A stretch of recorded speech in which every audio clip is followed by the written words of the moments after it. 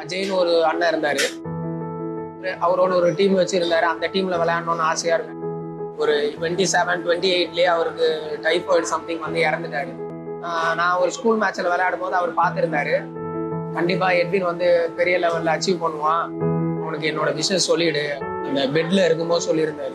ஆனால் இன்ன வரைக்கும் யாருக்கும் தெரியாது நான் அந்த மைண்டில் விளையாடுறேன்னு பட் ஆனால் இன்னும் பெருசா அச்சீவ் பண்ணி கண்டிப்பாக அவர் ஒரு நாள் நான் அவரை அவர் பேர் நான் சொல்லுவேன்.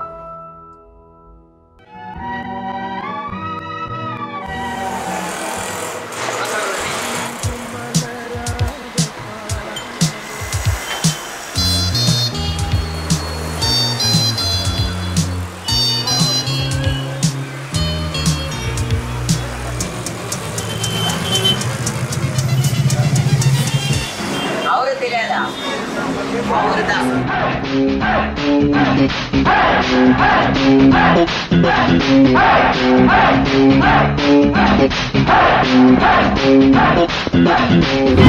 Hey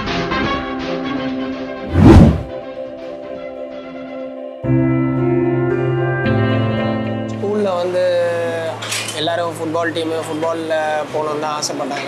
வீட்டுக்கு வரும்போது இந்த பாரு ஜெர்சி கொடுத்துருக்காங்க. ஸோ ஃபுட்பால் டீமில் வச்சிருந்தா எனக்கும் ஜெர்சி கிடைக்குமான்னு கேட்டப்போ ஆ கிடைக்கும். நீயும் ஜாயின் பண்ண. அந்த ஜெர்சிக்காக ஸ்டார்ட் பண்ணேன். ஆக்சுவலாக நான் ஸ்கூல் படிக்கும்போது லெவன்த் ஸ்டாண்டர்டில் சென்னைக்கு ஒரு சும்மா டூர் மாதிரி வந்தேன்.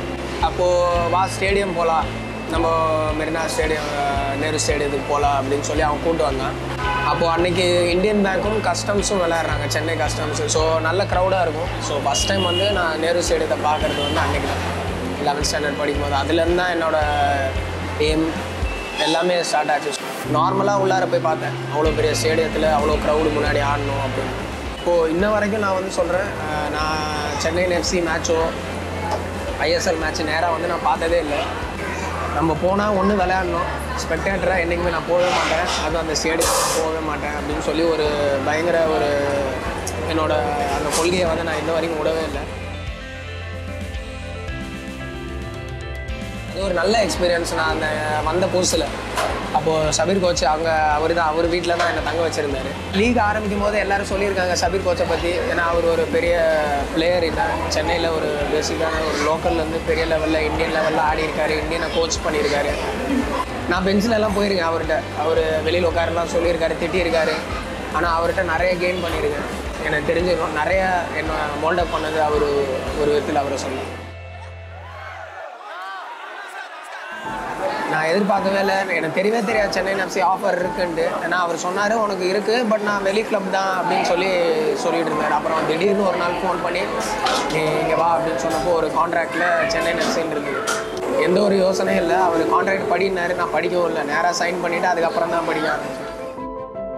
நான் பிறந்தது வந்து கேரளாவில் அம்மா ஊர். அப்புறம் எங்கள் அப்பா வந்து மதுரை. ஸோ நெய்வேலி தான் என்னோட எல்லாமேன்னு சொல்லலாம். நிறைய லைஃப்பில் எல்லாமே அங்கே தான் பார்த்தது. கஷ்டங்கள் எல்லாமே அப்பா வந்து ஸ்போர்ட்ஸ்மேன் ஹாக்கி பிளேயர் ஸோ எனக்கு வந்து போயிட்டு ஸ்போர்ட்ஸில் வந்து யாரை கற்று தரணும் அப்படின்லாம் இல்லை. பிளட்லேயே இருக்குது அதாவது ஃபேமிலி இருந்தும் பட் ஆனால் நாங்கள் ஒன்றா இல்லாத ஒரு சுச்சுவேஷனில் தான் நான் க்ரோ ஆனேன்.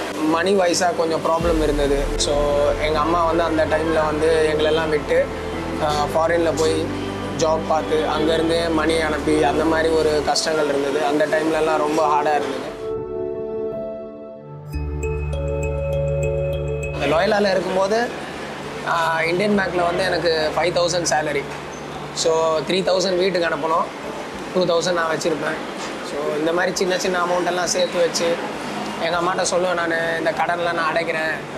அப்போ இருக்கும் கடன்லாம் அவ்வளோ இருக்கும். அந்த அஞ்சாயிரரூவா மூவாயிரரூவா அனுப்பி வைக்கிறது கூட எங்கள் வீட்டில் வந்து சந்தோஷமாக அது வந்து வீட்டு செலவுக்கெல்லாம் யூஸ் ஆகும் அதெல்லாம் ஒரு நல்ல நல்ல ஒரு இப்போ யோசிக்கும் போது நல்லா இருக்குது பார்க்கும்போது நம்ம பரவாயில்ல அந்த மாதிரி கஷ்டங்கள்லாம் தாண்டி வந்திருக்கோம்னு.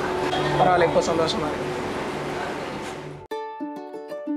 மேபி என்னால் முடிஞ்சால் யாராவது ஒரு ஏதாவது ஒரு பையன் முடியாத ஒரு பையனுக்கு கண்டிப்பாக நான் வந்து அவனோட கெரியர் இந்த லெவலுக்கு ஆகிற மாதிரி நான் கண்டிப்பாக ஹெல்ப் பண்ணுவேன். அது என்னோட ரொம்ப நாள் ஒரு ட்ரீம் ஏன்னா நிறைய பேர் இருக்காங்க. என்னால் என்னால் முடிஞ்சது ஒரு ஆள் அட்லீஸ்ட் அந்த மாதிரி தான் நான் யோசிச்சிருக்கேன். ஏன்னா வீட்லேயும் நான் சொல்லியிருக்கேன். அம்மா நம்மளை மாதிரி ஃபேமிலியாக இல்லாமல் சில பேர்லாம் கஷ்டப்படுறாங்க.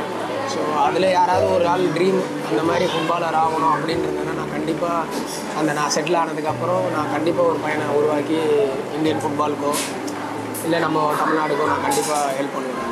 அதான் என்னோட ஒரு பெரிய ட்ரீம் அதாவது ஒரு பூட்டு வாங்கணும்னா கூட நான் வந்து அதை பிளான் பண்ணி தான் வாங்க முடியும். அப்போல்லாம் வந்து நானும் என் தங்கச்சியும் வந்து ஒரு நாளைக்கு சாப்பாடு வந்து ஒரு வேளை சாப்பிட்ற மாதிரியெல்லாம் ஒரு டைம் எல்லாம் இருந்தது. என் தங்கச்சி வந்து எனக்கு பூட்டு கழுவி கழுவி வச்சுருவா. ஒரே பூட்டை தான். அந்த மாதிரி டைம்லாம் ரொம்ப கஷ்டம். இப்போ இருக்கிறவங்களுக்கு புரிய மாட்டேங்குது. டேரெக்டாக ஐஎஸ்எல் விளையாடணும் அப்படியெல்லாம் சொல்லுவாங்க. அதெல்லாம் சொல்லும்போது சிரிப்பு தான் வரும். நாங்கள் தங்கியிருந்தது ஒரு வாடகை வீட்டில் ஸோ வாடகை கூடயும் கொடுக்க முடியாத அந்த டைமில் கூட என் ஃப்ரெண்டு பெஸ்டின்னு சொல்லிட்டு அவன் வந்து ஒரு எனக்கு ஒரு அடிடாஸில் பூட் வாங்கி வந்தான். கடன் வாங்கி. ஃபஸ்ட்டு எனக்கு ஃபோன் பண்ணதான் அவன். கேள்விப்பட்டேன் இந்த மாதிரி நீ சைன் பண்ணனு. ரொம்ப சந்தோஷம்டா. இப்போ தான் உன்னோட கரியர் ஸ்டார்ட் ஆகுது. நீ போய் விளையாடு.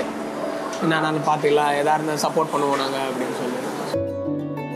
ஒரு மேக்ஸிமம் ப்ரெஷர் அதில் இருக்கும். பட் ஆனால் உள்ளார இறங்கினது அப்புறம் அவங்க சத்தம் போடும் போதெல்லாம் எனக்கு அந்த இதெல்லாம் எதுவுமே தெரியல. ரொம்ப சந்தோஷமாக ஆடிட்டு இருக்கேன் இல்லை நான் டான்ஸ் ஆடுற ஐடியாவே இருக்காது. ஒரு ஜெயிச்சதுக்கு அப்புறம் அந்த அந்த பீப்புள் அவங்கள்ட்ட போகும்போது அவங்க கத்தும்போது அவங்க சந்தோஷத்தை பார்க்கும்போதெல்லாம் நம்மளுக்கு தானாகவே அந்த ஒரு இது வந்துடுது நான் ஆடுறது வந்து இன்னும் அவங்களுக்கு வந்து சந்தோஷம் கொடுக்குதுன்னா நான் கண்டிப்பாக நான் ஹாப்பியாக டான்ஸ் ஆடுறேன்.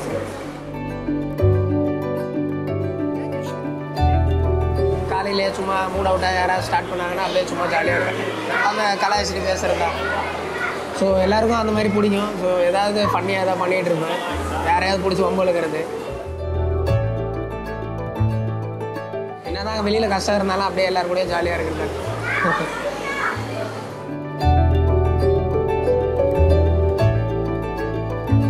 அந்த ஃப்ளோவில் போயிட்டுருக்கேன் ஸோ எவ்வளோ தூரம் மேக்ஸிமம் என்னால் ஓட முடியுமோ நான் ஓடுவேன். என்ஜாய் பண்ணிகிட்டு இருக்கேன்.